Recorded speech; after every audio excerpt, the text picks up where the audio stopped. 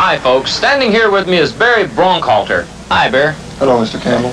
Barry's a gas station mechanic who holds a rather remarkable world's record. Uh, Barry, you want to tell the folks at home exactly what your record is? Well, Mr. Campbell, on Monday, May 13th this year, I was able to turn an ordinary $6 lube job into an $800 major overhaul. Really? Yes. You want to tell us about it then? Well, come with me and I'll show you. All right. Is this the one, Barry? No, this is one I'm working on today, but we can use it for an example. Yeah, okay.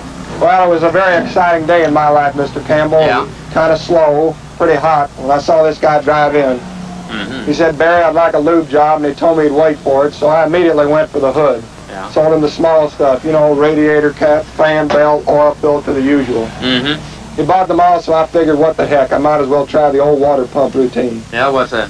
You know the line, boy, that water pump is a great way to commit suicide. when he fell for that one, I knew that the old death scare would be the way to go. Oh, what's a death scare? Well, water pump and ball tires, Yeah. those work. No kidding. Well, did you think you had a chance for the record then? Well, that was too early to tell. However, I was excited, and to set the record, I knew I had to go for the big stuff.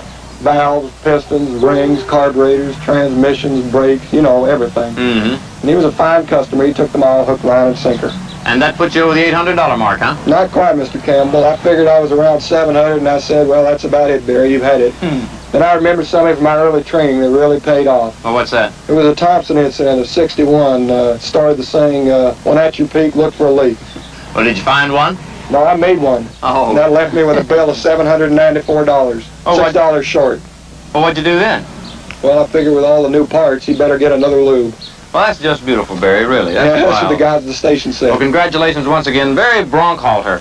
And uh, how does it feel to know that you're the best in the world at what you do? Feels real good, Mr. Campbell. Well, I can imagine. Say, you know, this mic cord is pretty badly frayed. I think you get, well, better get a that's new one. That's okay. Thank you very much, could and uh, wish you continued good Hey, luck. Bill, we got any That's mic runner? And now back to the show. I don't care what size. Don't leave the cord alone. You're liable to break it there.